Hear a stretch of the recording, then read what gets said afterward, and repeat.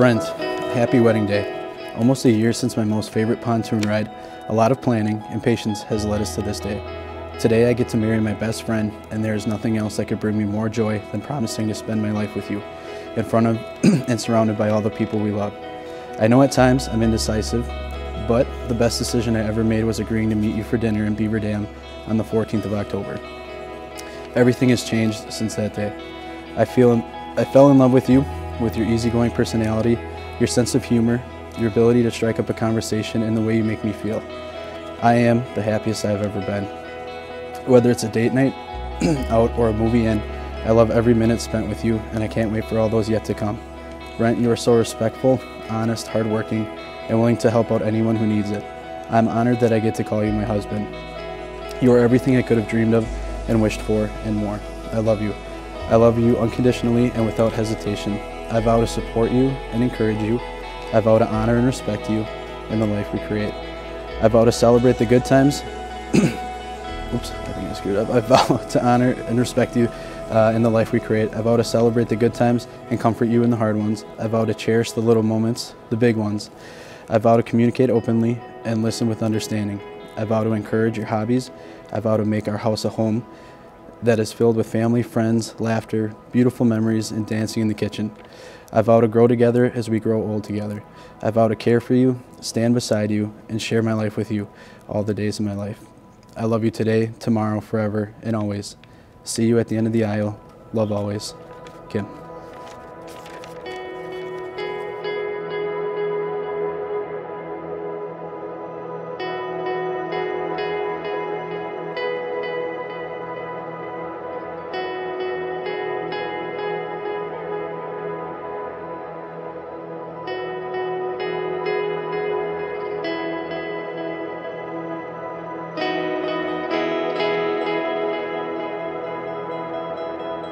Kim, wow, we made it. I can't believe that today is our wedding day. There were many times over the past few months I was starting to lose faith, but you kept me optimistic and hopeful. That is one of my favorite things about you. You always seem to pull the good out of any situation, and it is absolutely amazing to me. When we first met, I knew instantly that you were someone that took life as it came and someone I wanted to be around. It wasn't until our first date that I knew you were someone I wanted to spend my life with. I am so completely in love with that. It is leaving me a little bit speechless, but I promise to spend the rest of my life trying to find the words. I feel extremely lucky that you have walked into my life.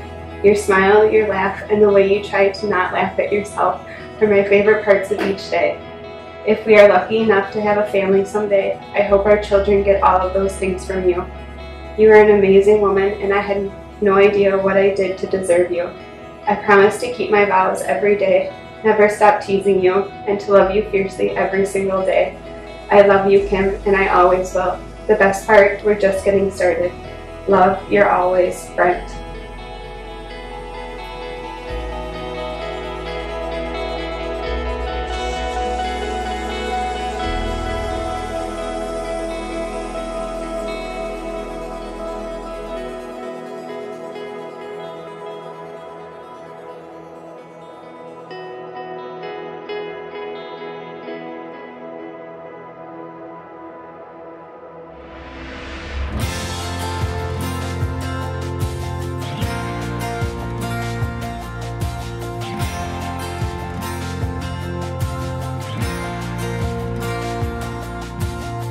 I know when people come to weddings, people bring surprises for those who are marrying. Something like those funny stories that are told by girlfriends about their friend. Sometimes those funny pictures of little babies with their tushes in the air. All kinds of surprises happen on days like this. Now, Today, Brent and Kim have a surprise for you. They are so much in love and were so much in love that they couldn't wait. And like Romeo and Juliet in front of Friar Lawrence, they married yesterday morning in Resurrection Church at Allenton before God because God is so important to them. And church is so much a part of them.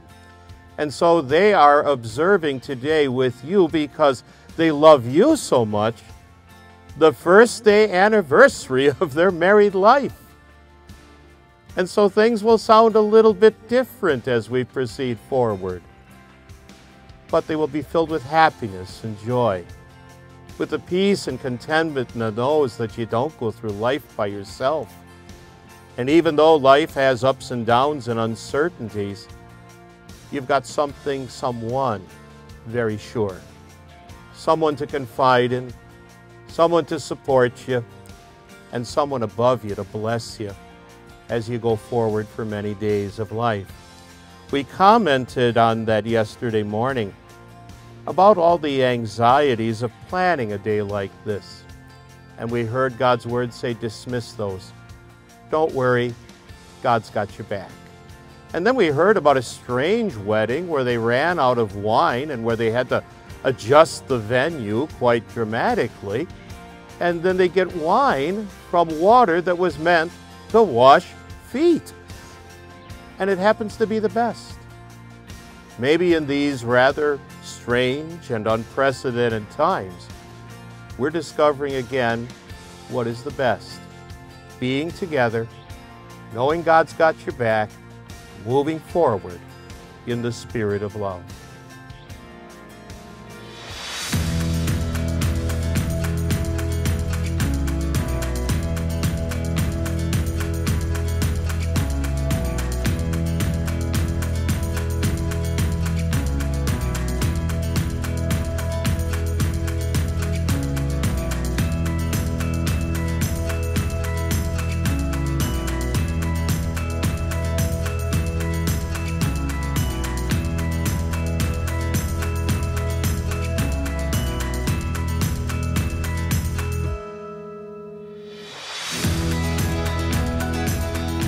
Much uncertainty, uncertainty in our world, it's comforting to know that love has the power to bring us here together today to celebrate and honor this amazing couple. Thank you to the Hug and Krieger family for all that you have done to prepare for this day, as it truly has been perfect and the night is just getting started. So, I'll start at the beginning.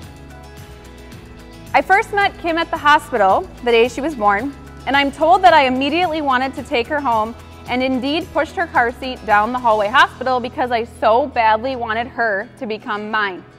I'm honestly not surprised by this because you are still someone that I could spend every single day around and never get sick of. She can't say the same about me. Kim and I grew up in a perfect and simple way, with simple moments being found in ordinary days and annual traditions. We were raised by our loving, giving, hardworking parents and surrounded by our close-knit family and friends. Our childhood was that of simple moments and special trips. We spent hours in our toy room. We attended all of our Girl Scout meetings. We enjoyed home-cooked meals as a family, attended Saturday night mass, and stayed home on Sundays. We were taught to value family, faith, and kindness. Bim, Kim, the bride. You always get me. You are continually there to tell me like it is, and you have inspired me forever. You're my listener and my best friend. You might be my little sister, but I continue to be inspired by you and learn from you daily. I admire you endlessly. So on to Mr. and Mrs. Hug. What started out as a simple, little, slightly awkward introduction at a Packer party has now turned into a lifelong marriage and commitment. A group of us were up at the Burhop cabin for a weekend on the lake when the idea of Kim and Brent was set into motion. I immediately called Kim and I told her I found her her future husband. I could feel her eyes rolling at me through the phone. And her initial response in true Kim fashion was, Oh my God, Kelly, which I've heard a thousand times before, so it never fazed me. I continued to tell her all about Brent, declaring that he was a hilarious good time, dedicated Packer fan, and of course, a fellow educator. Kim wasn't quite that impressed with that at the moment. I quickly confessed that I'd already showed him some pictures, and he seemed to like what he saw.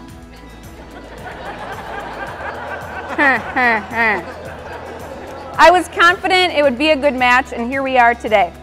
Kim and Brent, you are the perfect complement to one another. Literally, like the perfect match, compatible in every way. You are the exact kind of person each other needs. Balanced and connected, yet challenged in a way that is sweet and good. When you're together, you both laugh endlessly and are so full of life. It's been so fun watching you grow and change in your relationship. There's no need for extra show or glam.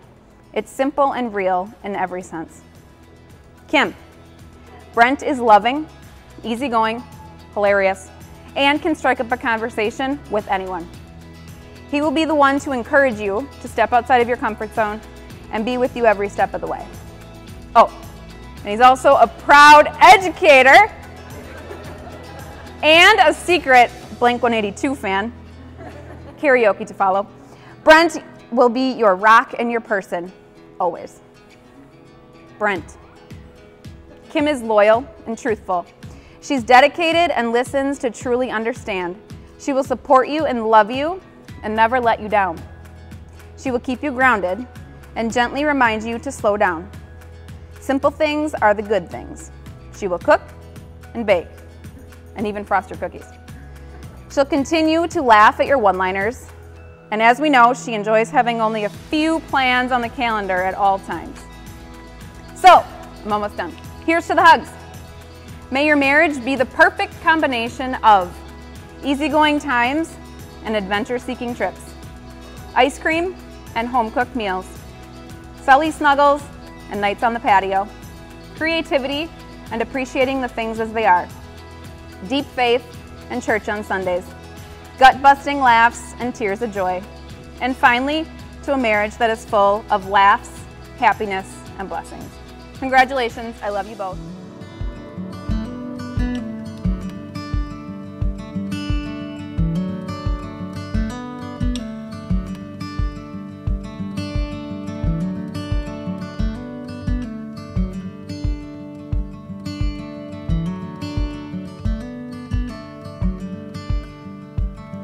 So, growing up, Brent was always the one that got along with everybody. He was always making people laugh. He was always saying the right things. He always did the right things. He never, ever, ever got in trouble. He was always getting straight A's, always the teacher's favorite student, and every parent loved him. He pretty much sounds like the perfect kid, right? right? Wrong, wrong, wrong. No, no. Greg, remember, uh, re re remember when Brent came home in his little black Volkswagen and his rim was all bent up and his tire was flat? And he told you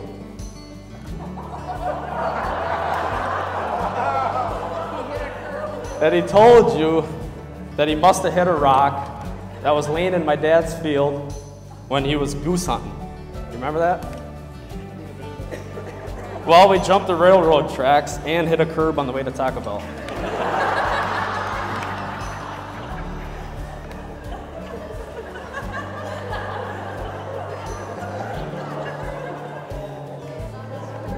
Karen. Do you remember when you found a tin of chew in Brent's car. He always told me, he said it was Burhop's. Cool, all right. Like always, it was always Burhop, but that wasn't Burhop's. no. I, I knew Brent would be my, my best friend ever since he came up north with me to Lake Tomahawk for the first time. Both my parents shit their pants.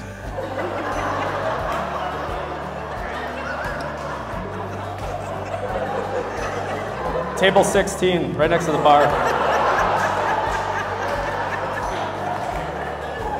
So, and a day later, it was laundry day. And so, my dad goes, Brent, if you come to town, and help me do laundry, I'll buy you a fishing pole. Brent accepted the offer. but Brent never got the fishing pole. That's all I got. I wish you two nothing but the best. Congrats.